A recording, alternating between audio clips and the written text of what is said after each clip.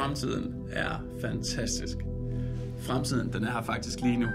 Fremtiden, den byder på robotter, og den byder på kunstig intelligens, og den byder på øh, en realisering af de der, skal man sige, teknologiske løfter, som folk har fortalt os om i så mange, mange år.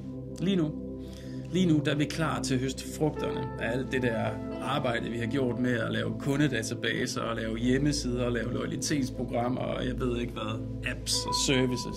Lige nu, lige nu, der er teknologien så tæt på at kunne hjælpe os det sidste stykke vejen.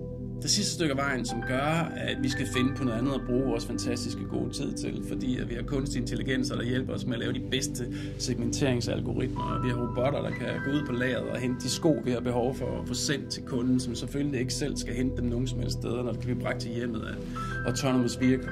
Det bliver så mega fedt. Jeg glæder mig. Jeg glæder mig rigtig til at få mere tid selv. Jeg glæder mig til, at vi alle sammen skal have mere tid sammen som mennesker det, der er vigtigt at sige alt det her, alt det her fantastiske, der kommer til at ske, det er, at I skal huske, vi skal huske alle sammen sammen at bygge en organisation, bygge organisationer, der sammen tillader mennesker, tillader tid til mennesker, fordi dem vi handler med, de der mennesker, som er kunder, de har også fået mere tid på deres arbejde, og vi skal bruge den tid sammen. Så mens teknologien den buller den ene vej, så øh, buller menneskerne den anden vej med al den tid, de skal finde ud af at bruge på noget fornuftigt. Så jeg tror, jeg tror, at vi skal huske at bygge organisationer, der har mennesker i sig.